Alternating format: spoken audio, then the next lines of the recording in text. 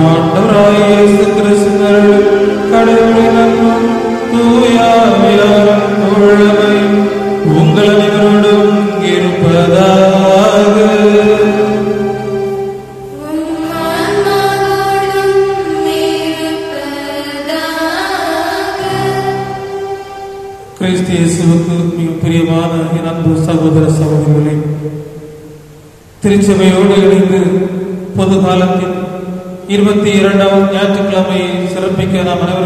கூடியிருக்கின்றோம். நம் ஆண்டவருக்கு நன்றி கூறவும் அவரிடமிருந்து ஆசிரியை மரளை பெறவும் நம்முடைய குற்றங்களுக்காக ஆண்டோடம் மன்னிப்பு வேண்டும் நாம் இங்கு வந்திருக்கின்றோம். நம்முடைய அன்னையா திருச்சபையானது மூன்று வாசல் வழியாக சீரத்துவத்தை பற்றி சிந்திக்க அழைக்கிறது. சீடர்களாக வாழ வேண்டும் என்றால் நமக்கு துணிவு வேண்டும். நம்மையே கடவுளுக்கு ஒப்புக் கொடுக்கின்ற காணிக்கை பொருட்களாக நாம் அனைவரும் மாற வேண்டும். நாம் கடவுளை பின்பற்ற வேண்டும் என்றால் நம்முடைய சிலுவைகளையும் நிறை குறைகளையும் எடுத்து இறைவனை பின்பற்ற வேண்டும் என்று இன்றைய மூன்று வாசகங்களும் மூன்று சிந்தனைகளை நமக்கு தருகிறது. ஆகவே நம்முடைய வாழ்வை சற்று அலசி பார்ப்போம். ஆண்டவரை பின்பற்றுகின்ற பொழுது எனக்கு துணிவு இருக்கிறதா? ஆண்டவரை நான் பின்பற்றுகின்ற பொழுது எல்லாவற்றையும் ஆண்டவரிடம் ஒப்படைக்கின்றேனா? என்னுடைய நிறைகளோடு ஆண்டவரை நாம் பின்பற்றி வருகின்றனா? இது நாம் நம்மை சோதித்து பார்ப்போம். இந்த தருணங்கள் எல்லாம் துணிவில்லாமல் இருந்தாலும் நாம் ஆண்டவரை முழுமையாக ஒரு மனதோடு காணிக்கை போன்ற எண்ணத்தோடு ஆண்டவரை பின்பற்றாமல் இருந்தால் ஆண்டோடு நாம் மன்னிப்பு வேண்டி ஆண்டவருடைய அருளை வேண்டி இறை பிள்ளைகளாக அன்பின் பிள்ளைகளாக அன்பு சீரர்களாக வாழக்கூடிய ஆற்றலை திருப்பலியில் நாம் கேட்போம். சகோதர சகோதரிகளே தூய மறைமுயல்களை கொண்டாட தகுதி பெறும் பொருட்டு நம் பாவங்களை ஏற்று மனம் வருந்துவோம். எல்லாம் வல்ல இறைவனிடமும் சகோதர சகோதரிகளிடம் நான் பாவியை ஏற்றுக்கொள்கிறேன் ஏனெனில் என் சிந்தனையாலும் சொல்லாலும் செயலாலும் கடமையில் தவறியதாலும் பாவங்கள் பல செய்தேன் என் பாவமே என் பாவமே என் பெரும் பாவமே ஆகையால் கொடுக்கிற ஞானத்தின் அறியாமை வானதூரர் அறிவுரை சகோதர சகோதரிகளே உங்களை நம் இறைவனாகிய ஆண்டவர் எனக்கு அருளிக் கொள்ளவற்றாகிறேன் எல்லா வகையிலும் நம் மீது இறக்கம் வைத்து நம் பாவங்களையும் குற்றங்களையும் தீய எண்ணங்களையும் மன்னித்து நம்மை நிறைவாழ்வுக்கு அழைத்துச் செல்வாராக.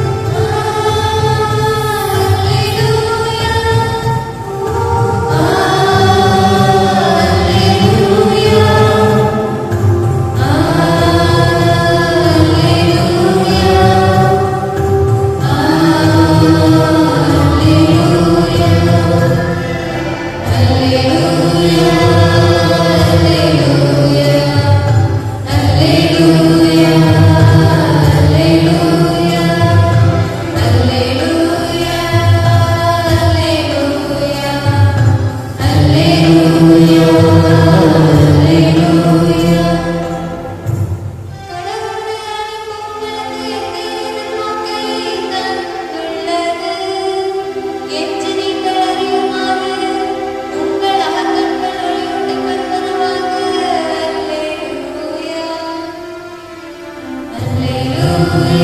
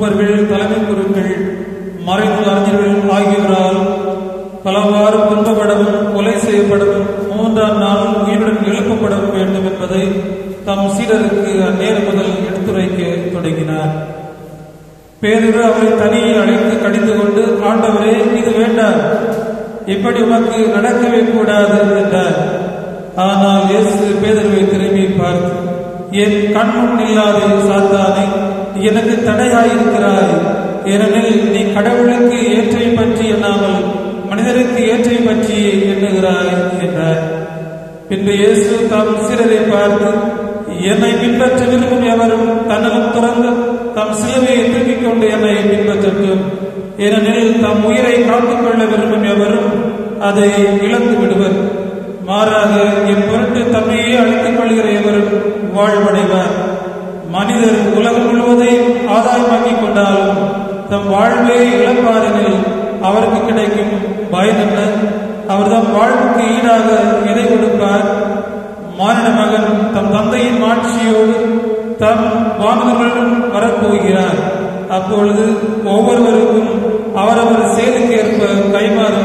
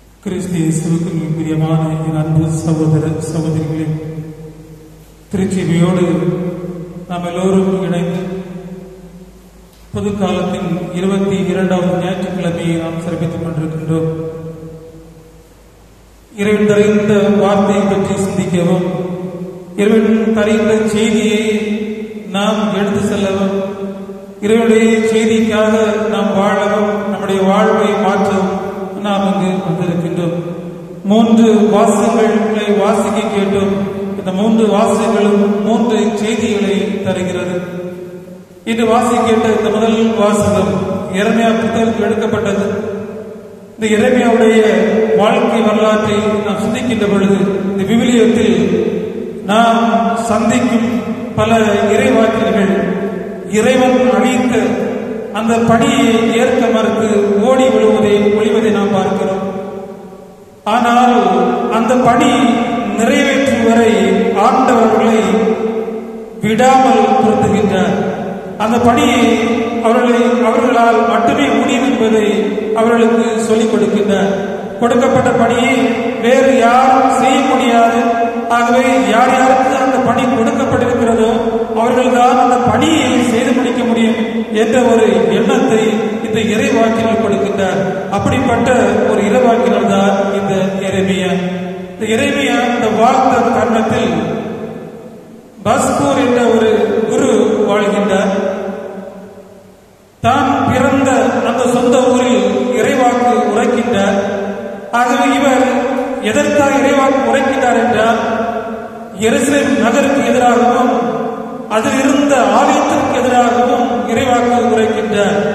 ஏன் உரைக்கிறார் என்றால் அங்கு வாழ்ந்த மக்கள் பிரமாணிக்கம் இல்லாமல் வாழ்ந்தார்கள் உடன்படிக்கையை மீறினார்கள். அவர்களுடைய நம்பிக்கை இல்லை. ஏனோதான இந்த ஒரு வாழ்வை அவர்கள் வாழ்ந்து கொண்டிருந்தார்கள். ஆகவே இதற்கு எதிராக தான் இந்த இறைமையை அங்கு இறைவாக்கு உரைக்கின்றார் இதன் காரணமாக இந்த பஸ்கூர் என்ற குரு நம்முடைய நாட்டுக்கு எதிராக இந்த இறைவாக்கினர் சதி திட்டம் தீட்டுகிறார். இந்த நாட்டுக்கு எதிராக இவர் சாபமிடுகிறார் இந்த இறைவாக்கு உரைக்கவில்லை என்று எண்ணி இவரை அடித்து சிறையில் கொண்டு போடுகின்றார்? ஆகவே இருக்கின்ற மக்கள் என்ன நினைத்தார்கள் என்றால் நம்முடைய நெஞ்சத்திற்கு நெருக்கமாக இருந்த கோயிலுக்கு எதிராக இவர் பேசிவிட்டாரே. நமக்கு நம்முடைய நாட்டுக்கு எதிராக இறைவாக்கு உரைத்து விட்டாரே என்று மக்கள் எல்லோரும் இவரை தவறாக பேசுகிறார்கள் எள்ளி நகையாடுகிறார்கள். இவர் எங்கெல்லாம் செல்கிறாரோ அங்கெல்லாம் இவரை ஏளனப்படுத்துகின்றார்கள். ஆகவேதான் நாம் இந்த வாசியை கேட்ட அந்த முதல் வாசகம் ஒரு மிக ஒரு மிக அருமையான வாசகம். ஆகவே அந்த ஊரில் இவரை ஏற்றுக்கொள்ளாததால் ஒரு ஆண்டவரை பார்த்து சொல்லுகின்ற வார்த்தைகள் தான் இதோ. ஆண்டவரே நீர் என்னை ஏமாற்றி விட்டீர். நானும் ஏமாந்து போனேன். நீர் என்னை விட வலிமை உள்ளவர் என நீர் வெற்றி கொண்டு விட்டீர். நாள் முழுவதும் அகைப்புக்கு ஆளானேன். எல்லோரும் என்னை இழப்பு செய்கிறார்கள். இனி அவர் பெயரை சொல்ல மாட்டேன். அப்படி என்றால் நான் ஆண்டவருடைய பெயரை சொல்லவே மாட்டேன். அவரின் பெயரால் ஒதுக்கியிருந்த இவர் தான் இவருடைய உள்ளத்தில் ஒரு எண்ணம் தோன்றுகிறது.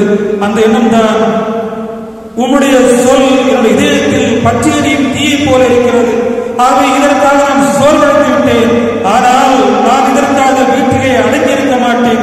இறைவாக்கு உரைப்பேன் என்று துணிவு சொல்கிறார் ஆக அன்புக்குரியவர்களே சீதத்துவத்திற்கு முதல் முதல் காரணம் முதல் நம்முடைய செய்தி என்னவென்றால் துணிவு இருக்க வேண்டும். எங்கெல்லாம் துணிவு இருக்கிறதோ அங்கு மட்டும்தான் நம் சீரர்களாக வாழ முடியும். இந்த இறைவாக்கினுடைய வாழ்வை நாம் பாடுகின்ற பொழுது அவருடைய வாழ்வில் துணிவு இருந்தது தன்னுடைய சொந்த ஊரில் இறைவாக்கு உரைத்தாலும் சொந்த ஊரில் உள்ள மக்கள் எல்லோரும் வெறுத்தாலும் அவரிடம் துணிவு இருந்தது ஏனென்றால் அவர் இறை வார்த்தையால் உந்தப்பட்டார். அவர் மக்களுக்கு சொல்லிக் கொடுத்த வார்த்தை என்னவென்றால் ஆண்டருடைய வாக்கு ஆண்டருடைய வார்த்தையை நான் மக்களுக்கு சொல்லிக் கொடுக்க எனக்கு துணிவு இருக்க வேண்டும். வருகிறார் என்று இந்த செய்தியை இந்த முதல் வாசகம் வழியாக அன்னையாம் தாய்த்திருச்சிவியா நமக்கு தருகிறது. ஆண்டோடைய தூதராக இருப்பதற்கும் இறை வாக்கினராக மாறுவதற்கும் நமக்கு துணிவு தேவை.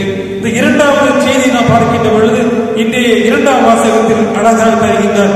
நாம் ஆண்டோருக்கு தூதர்களாக ஆண்டவருக்கு சீரர்களாக இறை வாக்கினர்களாக மாற வேண்டும் என்றால் நம்மிடம் இருக்கின்ற எல்லாவற்றையும் காணிக்கையாக கடவுளுக்கு நாம் ஒப்புக் கொடுக்க வேண்டும். இதுதான் இன்றைய வாசகம் இரண்டாம் வாசகம் நமக்கு சொல்லி கொடுக்கிறது. துன்பத்தை தாங்கிக் கொள்ள நமக்கு தேவை என்னவென்றால் நாம் நம்மையை இறைவனுக்கு காணிக்கையாக முழுவதுமாக ஒப்புக் கொடுக்க வேண்டும். அதுதான் சிறந்த வழிபாடு. உலகத்தின் போக்கின்படி நாம் வாழவே கூடாது. கடவுளையே திட்டம் எது எது நல்லது எது கெட்டது என்று ஆண்களுடைய திருவுள்ளப்படி நாம் வாழ்க்கையை வாழ வேண்டும். அப்படி என்றால் நம்மிடம் இருக்கின்ற ஒவ்வொரு நிறை குறைகளையும் நாம் ஒப்படைக்க வேண்டும். ஆண்டவரை பின்பற்ற வேண்டும் என்றாலும் சரி ஆண்டவருடைய தூதர்களாக இருக்க வேண்டும் என்றாலும் சரி ஆண்டவருடைய சீரர்களாக இருக்க வேண்டும் என்றாலும் சரி நம் நம்மையை முழுவதுமாக ஆண்டவருக்கு நாம் ஒப்புக் கொடுக்க வேண்டும். இதுதான் இரண்டாவது செய்தியை இன்று நமக்கு அன்னையம் தாய் திருச்செவியாக தருகிறது. மூன்றாவது செய்தி என்னவென்றால் இது நாம் வாசிக்கின்ற நற்செய்தி வாசகத்தில் அழகான இறைவனை நமக்கு சொல்லிக் கொடுக்கின்றார். இது நாம் வாசிக்கின்ற நற்செய்தி வாசகத்தில் நாம் ஒரு கதாநாயகனை பார்க்கின்றோம். அவர்தான் புனித பேரு போன வாரம் கடந்த ஞாயிற்றுக்கிழமை வாசிக்க அந்த வாசகத்தில் புனித பேதிரு அங்கே ஒரு கதாநாயகனாக இருக்கிறார் ஒரு பாறையாக இருக்கிறார் ஆனால் இன்று நாம் பார்க்கின்ற பொழுது அவர் அங்கு ஒரு தடைக்கல்லாக இருக்கிறார் கடந்த வாரம் அவரை பார்க்கின்ற பொழுது ஒரு பாறையாக இருந்தவர் இன்று வாசிக்கிற வாசகத்தில் தடை தடைக்கல்லாத கடவுளுக்கு எதிராக எண்ணுகின்ற ஒரு மனிதராக மாறுகின்றார் போன வாரம் தலைவராக அறிவிக்கப்பட்டவர் இந்த வாரம் சாத்தானாக அவர் மாறுகிறார். கடந்த வாரம் கடவுளுடைய எண்ணத்தை மட்டுமே எண்ணியவர் இன்று மனிதனுடைய எண்ணத்தை மட்டுமே எண்ணுகிறார். இதனால் இயேசு கிறிஸ்து அவரை பார்த்து சாத்தானே என் கண் முன்னே நில்லாதே என்று சொல்லி சொல்கிறார் அன்புக்குரிய இந்த வார்த்தையை நாம் பார்க்கின்ற பொழுது பேதிருவை இயேசு கிறிஸ்து சாத்தான நம்முடைய வாசம் நம்முடைய வாசம் சொல்கிறது ஆனால் அது ஆங்கிலத்தில் நாம் பார்த்தோம் என்றால் என் பிஹைண்ட் மீ என்று சொல்வார்கள் என் பின்னால் வா என்று. அப்படி என்றால் சீரர்கள் யாரெல்லாம் இருக்கிறார்களோ அவர்களும் குருவை பின்பற்ற வேண்டுமே தவிர அவர்களும் குருவுக்கு முன்னாடி சொல்லக்கூடாது. இதுதான் கெட் பிகைண்ட் மீ என்று சொல்கிறார்? அப்படி என்றால் நீ நான் செய்வதையே நீ செய்ய வேண்டும். நான் உனக்கு என்ன சொல்கிறேனோ அதை தான் நீ பிறருக்கு சொல்லிக் கொடுக்க வேண்டும் என்ற செய்தியை சொல்கிறார். நீ என் கண்ணும் நில்லாதே என்று அந்த செய்தியை நாம் ஆழமாக சிந்தித்து பார்க்கின்ற பொழுது பேதரு கடவுளே இயேசு கிறிஸ்துவை சிலுவையிலிருந்து பிரிக்க பார்த்தார். இன்னொரு செய்தியை பார்க்கின்ற பொழுது அந்த கோ- இயேசுடைய அந்த பணிபாடு தொடங்கின்ற பொழுது இயேசுவை அந்த சாத்தானது கோபுரத்தின் மேலே கொண்டு போய் அவரை கீழே குதிக்க சொல்லுகிறது. அப்பொழுது கூட இயேசு குதிக்கவில்லை. இன்னொன்று கடைசியா பார்க்கின்ற பொழுது இயேசு கிறிஸ்து சிலுவையில் தொங்கிக் கொண்டிருக்கின்ற பொழுது நீர் இறைவன் என்றால் கீழே இறங்கி வாரும் என்ற வார்த்தைகள் கேட்கின்றார். ஆனால் இயேசு கிறிஸ்து ஒருபோதும் இறங்கி வரவில்லை வரவில்லை. என்றால் இவருடைய உள்ளத்தில் சாத்தான் கொண்டிருந்தது சாத்தனுடைய செயல் எங்கெல்லாம் தென்பட்டதோ எங்கெல்லாம் இருந்ததோ அங்கெல்லாம் இயேசு அந்த அவருடைய வார்த்தைகளுக்கு இணங்கவில்லை. மாறாக அவரெல்லாம் விரட்டி விட்டார் சாத்தானே என் இல்லாது என்னை விட்டு அகன்று போகிற வார்த்தைகளை பார்க்கிறோம். எதற்கு பின்பு வருகின்ற போரிதான். ஆண்டோர் இயேசுகிறது இயேசு சீர்களை பார்த்து சொல்கின்றது. நீங்கள் என்னை பின்பற்ற வேண்டும் என்றால் உங்களையே நீங்கள் துறக்க வேண்டும். என்னை நீங்கள் பின்பற்ற வேண்டும் என்றால் உங்களுடைய சிறுவைகளை நீங்கள் நீங்கள் தூக்கிக் வர வேண்டும். பின்பற்ற வேண்டும் என்றால் என் பின்னே வாருங்கள் என்ற ஒரு செய்தியை சொல்லுகின்றார். ஆகவே ஆண்டவர் இயேசு கிறிஸ்துவை பின்பற்ற வேண்டும் என்றால் நான் என்னையே துறக்க வேண்டும். என்னுடைய சிலுவைகளை நான் சுமக்க வேண்டும். ஆண்டவரை பின்தொடர்ந்து அமைதியாக நாம் பின்தொடர்ந்து வர வேண்டும். நம்முடைய விவிலியத்தை நாம் புரட்டி பார்க்கின்ற பொழுது யாரெல்லாம் ஆண்டவருடைய வார்த்தையை கேட்டு செயல்பட்டார்களோ அவர்களுக்கெல்லாம் மிகப்பெரிய ஆசீர்வாதம் இருந்தது நாம் பார்க்கின்றோம். இந்த இறைவாக்கினால் யோனா ஆற்றுடைய இறை வார்த்தை நான் உறவே உரைக்கவே மாட்டேன். நான் எடுத்து கூற மாட்டேன் என்று அவரது அந்த கடலிலே செய்த பொழுது பெரும் காற்று வீசி அவரை அந்த கப்பலிலிருந்து கீழே தள்ளி போட்டு அங்கு இந்த பெரிய பெரிய ஒரு மீன் அவரை விழுங்குகிறது மூன்று நாள் அந்த விலங்கினுடைய அந்த அந்த மீனுடைய வாயில் இருந்துவிட்டு அவர் கரைக்கு அறிந்த பொழுது ஒரு மனமாற்றம் அடைந்த ஒரு மனிதராக அவர் நினைவை நகர்ந்து சென்று அங்கிருக்கிற எல்லா மக்களையும் மனமாற்றக்கூடிய ஒரு சக்தி பெற்றவராக மாறுகின்றார். இன்னொரு செய்தி பார்க்கின்ற பொழுது ஆபரகாம் ஈசா ஆபரகாம் வயது வயது முறிந்த அந்த தருணத்தில் அவருக்கு ஒரு குழந்தை பிறக்கிறது. அந்த குழந்தையை கடவுள் அவரை பலியிட சொல்கின்றார். அப்பொழுது கூட தயங்காமல் அந்த குழந்தையை பலியிட தயாராகின்றார். அப்பொழுது ஆண்டவருக்கு கொடுத்த வாக்குறுதி என்னவென்றால் வானத்து விண்மீன்களைப் போலவும் கடற்கரை மணலைப் போலவும் உன்னுடைய சந்ததியினர்கள் பழகி பெறுவார் என்ற ஒரு செய்தியை கொடுக்கின்ற யாரெல்லாம் ஆண்டவருடைய வார்த்தைகளுக்கு ஏற்றெடுத்தார்களோ அவளுக்கு எல்லோருக்கும் ஒரு வாக்குறுதி இருந்தது அவளுக்கு எல்லோருக்கும் ஆசீர்வாதம் இருந்தது. ஆனால் யாரெல்லாம் ஆண்டவருடைய வார்த்தைக்கு ஏற்ற எதிர்த்து நடந்தார்களோ அவர்களுக்கெல்லாம் ஆசீர்வாதங்களை இதைதான் நம்முடைய தாவீதுடைய வாழ்வில் பார்க்கின்ற பொழுது ஆண்டவருடைய வார்த்தையை ஏற்றுக்கொள்ளாமல் மக்கள் எல்லோரையும் கணக்கெடுத்து போகின்ற மிகப்பெரிய அழிவு அங்கே வருகிறது. அது மட்டுமல்லாமல் இந்த சிம்சன் என்று அழைக்கப்படுகின்ற இந்த மாபெரும் வீரன் தன்னுடைய ரகசியத்தை தனக்கு இருந்த அந்த காதலியிடம் சொல்லுகின்றார். கடைசியில் பார்க்கின்ற பொழுது பெலிஸ்தியன் மக்களிலே சிறை உண்டு அவர் அங்கே கொல்லப்படுகின்றார். ஏன் ஆதாம் இவருடைய வாழ்க்கையை பார்க்கின்ற பொழுது கூட கடவுளுடைய எண்ணத்திற்கு எதிராக செயல்பட்டதால் அவர்களுக்கு ஒரு மிகப்பெரிய தண்டனை கிடைக்கிறது. ஆகவே இதை நற்செய்தி நமக்கு சொல்லித்தரும் பாடம் என்னவென்றால் ஆண்டவரை பின்பற்ற வேண்டும் என்றால் அவருடைய இடத்திற்கு ஏற்ப அவருடைய திருமணத்திற்கு ஏற்ப நாம் வாழ வேண்டும். அப்படி வாழவில்லை என்றால் ஆண்டவருடைய தூதராக நாம் வாழ முடியாது. ஆகவே அன்புக்குரியவர்களே இன்றைய மூன்று வாசங்களும் நம்முடைய அந்நியம் தாய்த்திருச்சியான நமக்கு தருகின்ற மூன்று செய்தி என்றால் நாம் துணிவோடு இருக்க வேண்டும். ஆண்டவரை பின்பற்ற வேண்டும் என்றால் நாம் துணிவோடு இருக்க வேண்டும். ஆண்டவரை பின்பற்ற வேண்டும் என்றால் நாம் நம்மையே அர்ப்பணிக்க வேண்டும். காணிக்கையாக அர்ப்பணிக்க வேண்டும். ஆண்டவரை பின்பற்ற வேண்டும் என்றால் கடவுளுடைய திருவுளத்தை அவருடைய எண்ணத்திற்கு ஏற்ப நாம் செயல்பட வேண்டும். அப்படி செயல்படுகின்ற பொழுதுதான் நாம் உண்மையிலே ஆண்டவருடைய பிள்ளைகளாக ஆண்டவருடைய அன்பின் சீரர்களாக மாற முடியும் ஆகவே ஆண்டவருடன் நாம் துணிவின் துணிவுக்காகவும் நாம் நம்மையே கொடுக்கின்ற காணிக்கை பொருளாக மாறக்கூடிய அந்த ஆற்றலை அவர்கள் கேட்டு திருப்பலை தொடர்ந்து மன்றாடுவோம்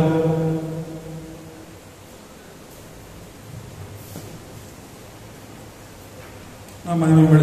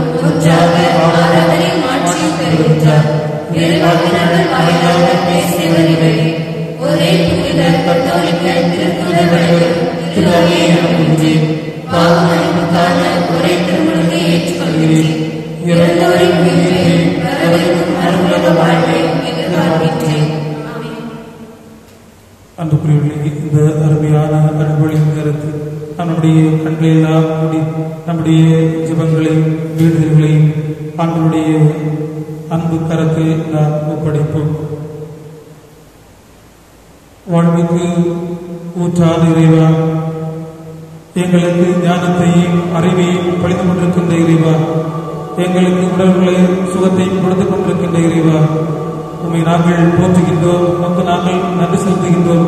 நீர் என்றும் எங்களை கண்மணி போல பாதுகாத்து வருகின்றீர். எல்லா சூழ்நிலையிலும் எங்களை நீர் பாதுகாத்து வருகின்றீர். எங்களுக்கு தேவையான அருவருங்களை நீர் தினமும் பொருட்படுத்திக் கொண்டிருக்கின்றீர். ஆகவே ஆண்டுகளை மக்கள் நாங்கள் நெஞ்சார் நன்றி செலுத்துகின்றோம். உண்மை போற்றுகின்றோம் உண்மை புகழ்கின்றோம். இந்த அருமையான அன்புகளின் தருணத்திலே உருக்கமாக உங்களுடைய அன்பு கருத்தில் நாங்கள் ஒப்படைக்கின்றோம். நாங்கள் கேட்ட இந்த வாசகத்தின் வழியாக நாங்கள் துணியோடு இருக்க வேண்டும். எங்களையே எங்களுக்கு காணிக்கையாக வேண்டும்? உண்மை நாங்கள் பின்பற்ற வேண்டும் என்றால் உங்கள் திருவுடத்தை நாங்கள் அறிய வேண்டும். ஆகவே ஆண்டவரே எங்களுக்கு துணிவை தாரும். எங்களுக்கு எங்களையே முழுவதுமாக காணிக்கையாக்கக்கூடிய அந்த மனநிலை மனநிலையை தாரும். உங்களுடைய திருவுளத்தை அறியக்கூடிய அந்த ஞானத்தை தாரும். எங்களுடைய வாழ்வை நாங்கள் அலசி பார்க்கின்ற பொழுது நாங்கள் துணிவில்லாமல் உண்மை விட்டு விலகி நாங்கள் வாழ்ந்திருக்கின்றோம். எங்களை மன்னியும் உண்மை நாங்கள் பின்பற்றி வருகின்ற பொழுது நாங்கள் உலகத்தையே நாங்கள் பின்பற்றி வாழ்ந்திருக்கிறோம். உடைய வார்த்தைக்கு நாங்கள் செவி உம்முடைய உடைய அன்பிற்குள் நாங்கள் வாழாமல் உலக ஆசைக்குள்ளும் உலக நாட்டத்துக்குள் நாங்கள் வாழ்கிறோம் வீழ்ந்து போகிறோம். எங்களையே உடைய கைகளுக்கு ஒப்படைக்காமல் எங்களை வாழ்வுடைய உடைய கை ஒரு காணிக்க கொடுக்காமல் நாங்கள் இருந்து நாங்கள் வாழ்ந்திருக்கின்றோம் எங்களை மன்னியும் எங்கள் மேல் இரக்கம் காட்டியவர்கள் எங்களுடைய மனதையும் எங்களுடைய மனதிற்கின்ற எண்ணங்களை எல்லாம் மாற்றி நாங்கள் என்று நமக்கு உகந்த சீரர்களாக இறை வாக்குகளாக வாழக்கூடிய முடிவை தந்தர்களும் அன்பே உருவான ஆண்டவரை இந்த அறிமுக தருணத்திலே இருக்கின்ற ஒவ்வொரு மக்களையும் உடைய அன்பு கரத்தில் நாங்கள் ஒப்படைக்கின்றோம். எத்தனையோ கஷ்டங்களோடும் எத்தனையோ எண்ணங்களோடும் எத்தனையோ வீடுகளோடும் நாங்கள் வந்திருக்கின்றோம். ஒவ்வொன்றையும் நீர் அழைத்து வந்தீர். எங்களுடைய ஒவ்வொரு பெயரையும் அழைத்து வந்தீர். எங்களுக்கு தேவையான அலுவலங்களையும் எங்களுக்கு தேவையான பாதுகாப்பையும் எங்களுக்கு தேவையான உடல் சுகத்தையும் தந்திருந்தோம் உம்மிடம் இருந்து மட்டுமே எங்களுக்கு எல்லாமே கிடைக்கும். நீர்தாமே எங்களுக்கு எல்லாமாக இருக்கின்றீர். ஆகவே எங்களுக்கு தேவையான அறிவுரைகளை தந்து நாங்கள் இன்னும் உமக்கு ஓர்ந்த பிள்ளைகளை வாழக்கூடிய ஆற்றலை அமைத்தாரும் அன்பை உருவான ஆண்டவரை தருமையான நோயினால் வாடிக்கொண்டிருக்கின்ற ஒவ்வொரு மக்களின் அன்பு கருத்தில் ஒப்படைக்கின்றோம். எத்தனையோ மக்கள் வீட்டில் வீட்டிலே என் தரப்பில் இருக்கின்ற நோய் என்னவென்று அறியாமல் இருந்து கொண்டிருக்கின்றார்கள். இன்னும் எத்தனையோ மக்கள் எத்தனையோ ஆண்டுகளாக மருந்துகள் கொண்டு கொண்டிருக்கின்றார்கள். ஆனால் வாழ்விலே முன்னேற்றமில்லை ஒரு வார்த்தை மட்டும் சொல்லும் ஆண்டவரை உடைய திருக்கரங்களால் உடைய திரு வார்த்தைகளால் அவர்களை தொட்டு குணம குணம வார்த்தை மட்டும் போதும் அவர்கள் நலமடைவார்கள். இந்த அருமையான தருணத்திலே உலகத்தை ஆட்டி பழத்துக் கொண்டிருக்கின்ற கொரோனா வைரஸ் தொற்றுக்காக நாம் ஜெபிக்கின்றோம் எத்தனையோ மக்கள் அதற்காக இறந்து கொண்டிருக்கின்றார்கள். எத்தனையோ மக்கள் இந்த நோய்க்காக அடிமையாகி கொண்டிருக்கின்றார்கள். எத்தனையோ மக்கள் அந்த நோய்க்கு வயிற்றிலே வாழ்ந்து கொண்டிருக்கின்றார்கள். இந்த மடுத்து இந்த நோய்க்கெல்லாம் ஒரு எதிரான மரத்தை கண்டுபிடித்து இந்த நோய்க்கு எதிராக உழைத்துக் கொண்டிருக்கின்ற ஒவ்வொரு மக்களின் ஆசிர்வதியும் அவர்களுக்கு ஒரு துணிவை கொடும். இந்த மக்கள் எல்லோரும் விடுதலை பெற்று நல்ல மக்களாக நல்ல சீரர்களாக வாழக்கூடிய நல்ல ஆற்றலை அவர்களை கொடுத்துள்ளோம் இந்த அறிவான தருணத்திலே இந்த ஊரை வேலை செய்கின்ற ஒவ்வொருவருடைய அன்பு கருத்தில் ஒப்படைக்கின்றோம். வேலை கேட்டு ஊதியம் பெறவும் தாங்கள் செய்கின்ற வேலையிலே சந்தோஷமாக மகிழ்ச்சியாக இருக்கக்கூடிய நல்ல ஆற்றலை அவர்களை அன்பை உருவாக ஆண்டவரின் நன்மை தருணத்திலே எத்தனை மக்கள் குடி வெறியினாலும் போதை பழக்கங்களால் நம்முடைய வாழ்வையே அழித்துக் கொண்டிருக்கின்றார்கள். ஆகவே ஆண்டவரே அவர்களுக்கு தேவையான அருவரங்களை ஞானத்தையும் அறிவையும் கொடுத்து துணிவோடு இருந்து நம்முடைய வாழ்வையை கடவுளுக்காக ஒப்புக் கொடுக்கக்கூடிய அந்த ஆற்றலை கொடுத்தல்லும் உருவான ஆண்டவை இந்த நேரத்திலே எங்கள் ஊரில் படித்துக் கொண்டிருக்கின்ற ஒவ்வொரு குழந்தைகளையும் ஒவ்வொரு இளைஞர்களுடைய அன்பு கருத்து நாம் ஒப்படைக்கின்றோம். இவர்களுக்கு சிறு வயதிலிருந்து ஞானத்தையும் ஆற்றல் கொடுத்து எப்பொழுதுமே துணிவாக துணிவோடு இருக்கவும். தாங்கள் எடுக்கின்ற ஒவ்வொரு குறிக்கோளும் துணிவோடு இருக்கக்கூடிய ஆற்றலையும் தங்களையும் குறிக்கோளுக்காக தியானம் செய்யக்கூடிய அந்த மனதையும் கொடுத்தனும் அன்பே உருவான ஆண்டவரே இருக்கின்ற ஒவ்வொரு மக்களையும் பேர் சொல்லி அன்பு கருத்தில் ஒப்படைக்கின்றேன்.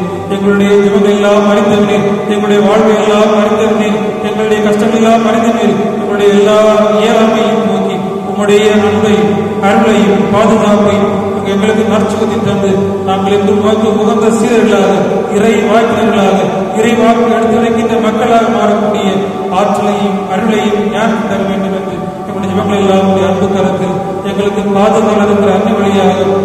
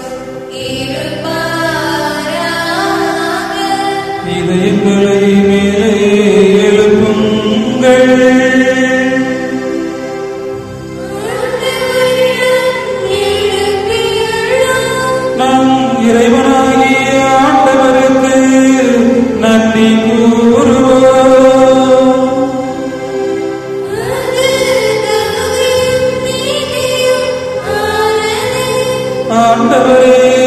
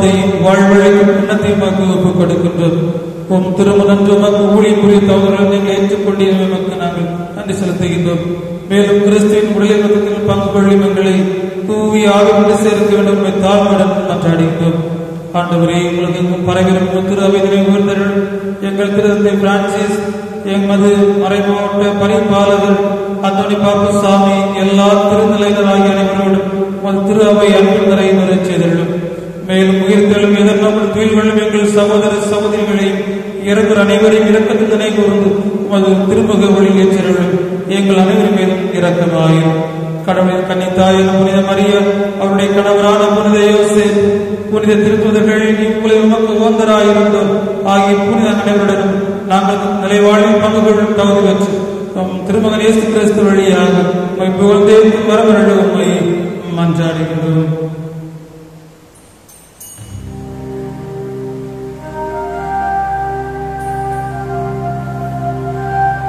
இவர் வழியாக இவரோடு இவரை எல்லாம் இறைவனாய் தந்தையே